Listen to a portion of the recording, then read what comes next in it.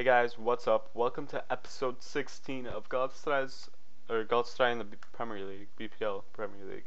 The first game we got is up against Aston Villa. And thanks for getting the last video to I think it was 8 likes, and that's pretty nice. And yeah, I've read some of the comments on the last episode and I saw that you guys wanted like like everyone wanted something else. Like someone wanted wagers, I think. Someone wanted pink slips and then someone else wanted um the creation mode series, and I think, I, hear me out, I, am not going to be commentating over the thing a lot, the gameplay, but yeah, Taarabt scores a pretty nice goal right there, and yeah, just hear me out, I'm, I'm thinking about finishing the Trading to Messi series, and then doing like a review on him, like a squad builder maybe, and then I just, and then like pink slips him, and, and that would be towards like the end of August probably. And if I could do that, that'd probably be very good in my opinion. And I don't know if you guys would want to see that though, but yeah, if you do, just leave it down in the comments. And this free kick by Taarabt, I thought almost went in. I thought it like sneaked under the keeper's leg, but we do beat Aston Villa convincingly, 2-0. Benteke couldn't score. Benteke? I think I said Benteke. But Benteke couldn't score, which is good for us, since he is a lethal striker. And trading to Messi series, like I was mentioning uh, like a bit ago, um, it might take like five more episodes, maybe seven. Like the 20th episode is what I was aiming for to finish it, but I think it might take maybe up to 25.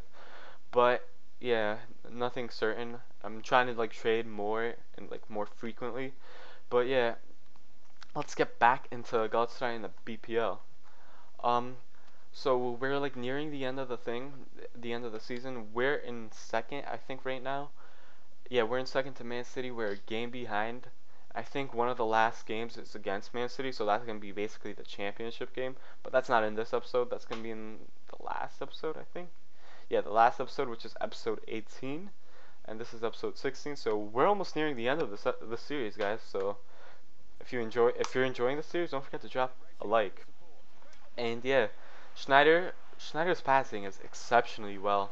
He's like grown so much, even though he's 28. He's like improved so much, and yeah, that was a great pass to Rodrigo, but Rodrigo just couldn't finish it. And you know Drogba's gonna um Drogba's gonna clean up every mess, clean up the mess, and he's gonna score to make it 1-0 against Manchester United. And we pick up a corner here in the 12th minute or 11th minute, 12th minute I think.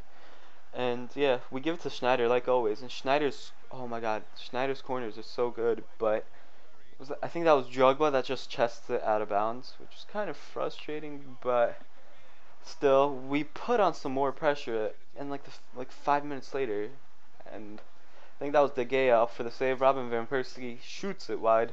And if I sound a bit like angry, guys, it's just because um, it's because I played a game of FIFA. Seriously with um, the squad, a squad. I think that I'm have before this video. I don't know. It's a unique squad, and it has to deal with basketball. That's all I'm gonna say about that squad. But I did lose the game. I'm just gonna put that out there. But I did play really well, and I, I was just angry when I lost the. But we do win that um, Manchester United game 1-0. And something else I wanted to talk about, I, I totally forgot, was the FIFA 14 Ultimate Team news. Um, I'm not gonna make like a separate video. I'm just gonna make. I think I might make a separate video. I'm not sure. Not now though. Like everyone's making it. I don't want to jump on that bandwagon. When like Gamescom comes around, I think I might make a video on FIFA 14. But yeah, like a lot.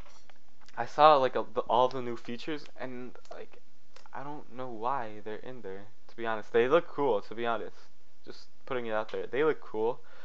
But like sounds like it's going to be pretty overpowered if you ask me. And this game against Arsenal was probably one of the best games in a while. That's all I'm saying. Best games in a while. And things get started off with Arsenal hitting the post. Giroud, I think that was. Maybe maybe it wasn't Giroud, but they hit the post. And Arsenal, they hit the post like three times before they actually scored. Let me get that out there. And sorry, I just hit my mic, but yeah. We do get a shot in with Rodrigo right there, but it gets saved. Drogba has 17 goals in all competition, and I think that's like the same for Rodrigo and Burak Yilmaz.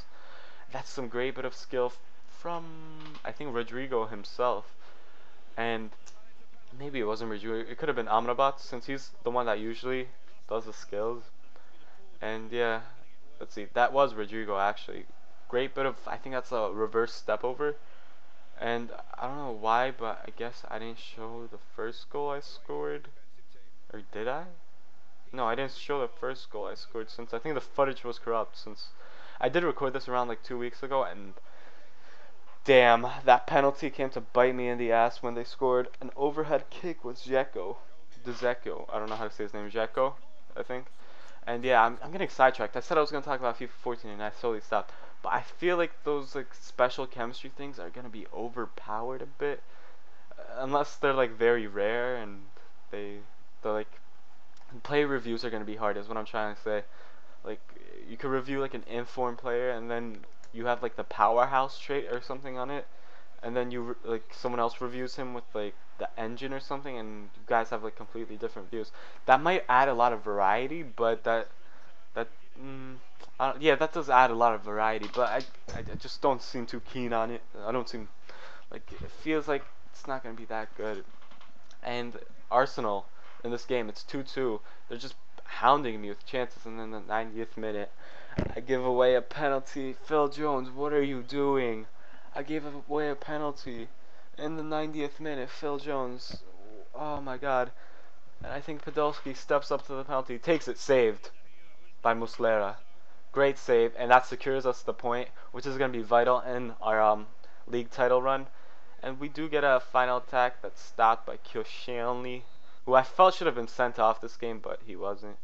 And yeah, the game ends 2-2 heroically. The the gameplay was pretty good. If I commentated, it would probably sound better. But yeah, I'm pretty excited about FIFA 14 to be honest, I really like the cards. I don't know why. I just do. A lot of people say that he looks shit, but I, kind of look nice. Especially like the pack symbol. I saw it in someone's video. They did like the pack symbol. That looks pretty nice in my opinion.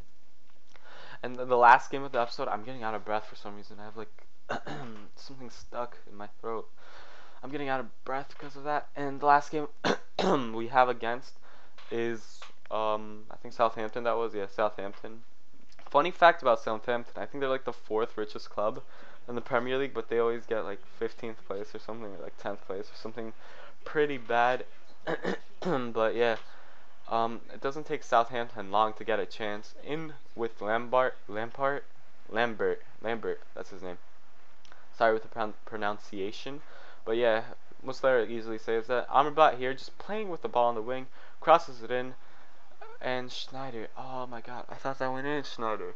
I thought that went in. And another thing, yeah, yeah, another thing I want to talk about is the preseason game against Malaga Galatasaray I had. Pretty nice game. Schneider scored a pretty nice goal, like straight down the middle, but it had such a nice dip and curve, and yeah, it was just a pretty nice goal. Drago scored a pretty nice header. It was top corner, and Colin Kazim, nice to see him getting back on the scoreboard after uh, coming back from loan I think we should play him, but I think we should play him like on the opposite wing as Amrabat. You know how he comes off the bench and stuff. If he played on the opposite wing of Amrabat, I think they could play like really good together. And a couple seconds ago, they equalized. By they, I mean Southampton. And here, Southampton, you missed an open goal. Wow, just uh, that's wow. You could. Wow, I, I don't know what to say right there. This is on pro though, so that's probably what I could say. Here, we do get a penalty. Surprisingly, I don't even remember that, which is really funny in my opinion. I don't really remember that, but we do get a penalty, and like i I'm, I'm known to miss penalties in this series, guys. If you watched it all the way through, but Drogba, he's not gonna fail for me. Drogba's like, I got you, Kaan. Don't worry. I, am gonna score this one for you. Don't worry. And that I think that wins us the game 2-1, securing us another three points and I think that does secure us the um, Champions League spot. So that's why there's this celebration in the end. Like I really didn't know since this was a league match, and I, the only guess I could have is maybe Europa League qualification at least, maybe even Champions League qualification, but I'm not sure. And if you guys enjoyed the video, don't forget to like, comment, subscribe, and peace. I'm out of here.